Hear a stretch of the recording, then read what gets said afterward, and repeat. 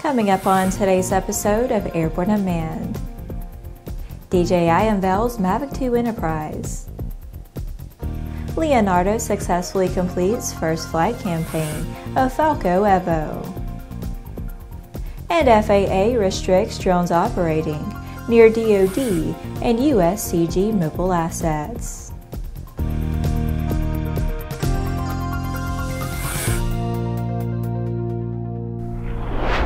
Hello, I'm Laura Hudson. Welcome to the Aero News Network's Airborne Unmanned program, a weekly news program covering all things unmanned, in partnership with AUVSI, the Association for Unmanned Vehicle Systems International.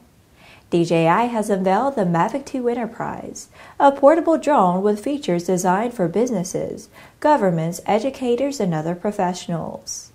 The Mavic 2 Enterprise extends users' capabilities during critical operations like firefighting, emergency response, law enforcement, and infrastructure inspections.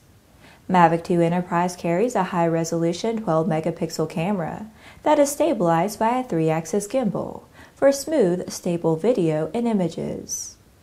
The camera offers 2 times optical and 3 times digital zoom capability. Mavic 2 Enterprise allows new DJI accessories to be securely mounted to the drone's body and is operated through the Flight Control app. The Mavic 2 Enterprise accessories include M2E Spotlight, M2E Speaker, and M2E Beacon. The Mavic 2 Enterprise Universal Edition, which includes an aircraft, a remote controller, one battery, all three mountable accessories, and a protector case with flight tools is $1,999. A Fly More kit, which includes two batteries, one battery charging hub, one car charger, one USB connector, one soft case, and two propellers, is also available to users for $419. In the next Unmanned Minute, let's take a brief look at a few of the shorter stories that are making the rounds of the unmanned vehicle communities. The Aero News Network, which produces Airborne Unmanned, as well as quite a few other programs, is looking for talented people to join us. We are looking for additional airborne program staff with skills in front of and behind the camera to join our webcast team. Strong camera, video editing, and presentation skills are required.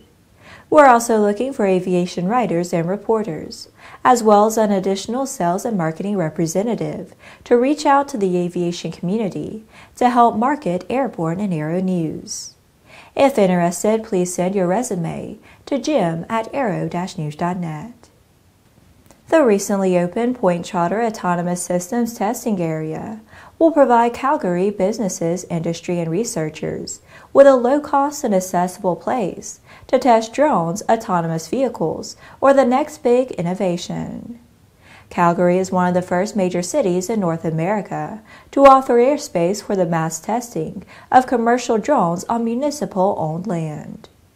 Point Trotter ASTA, located in the southeast, has approximately 125 acres of land available to meet the increasing demand from companies and educational institutions wanting to test aerial drones. There is more to flying a drone than maneuvering it through backyard trees, especially when it's being used commercially. The Delta Regional Authority created a program, Workforce Development Training the Trainer, using unmanned aerial systems to deal with that issue. The University of Louisiana Monroe's Dr. Sean Chenoweth, Associate Professor of Geosciences, was just awarded a $90,000 grant from the DRA for training the trainer to teach people in Northeast Louisiana how to operate a UAS. Once they are trained UAS operators, they can go out and train others. Auro is now licensed to test autonomous vehicles on public roadways in California after acquiring Auro in October 2017.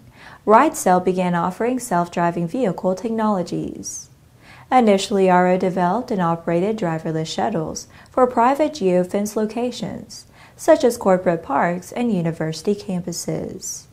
but the company is now expanding its autonomous product, offering to include passenger vehicle models and minivans that will operate on public roads alongside existing vehicle traffic. That was our Unmanned Minute. Now back to the rest of the news. Leonardo has successfully completed a series of test flights of its Falco Evo remotely piloted air system in Bulgaria. The flight campaign was to validate a package of upgrades that extends the endurance and operational range of the platform for overland and maritime missions. This includes a beyond line of sight satellite data link system and a new propulsion system based on a heavy fuel engine. Further trials are now planned that will see the Falco Evo flying equipped with Leonardo's new Gabbiano TS ultralight surveillance radar, combined with a high definition infrared electro optical system, automatic identification system, and a comms relay suite. The Falco Evo, the longest endurance model from Leonardo's Falco RPA's family, is a surveillance and intelligence gathering platform suited to overland and maritime missions. It can fly for more than 20 hours while carrying a payload of up to 100 kilograms.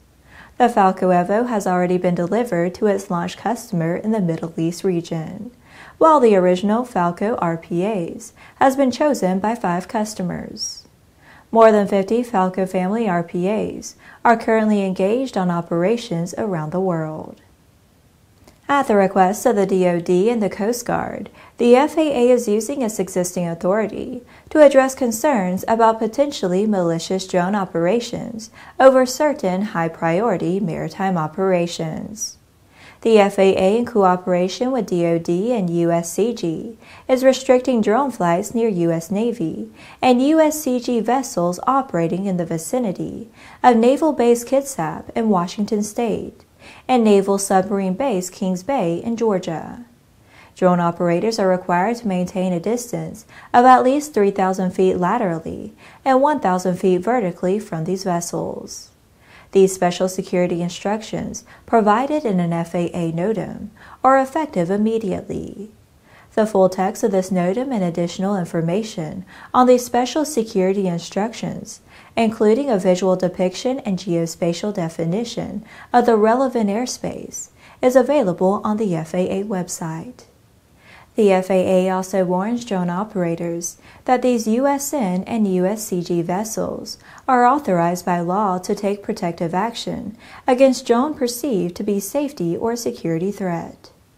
Further operators who do not comply with FAA special security instructions also may be subject to enforcement action.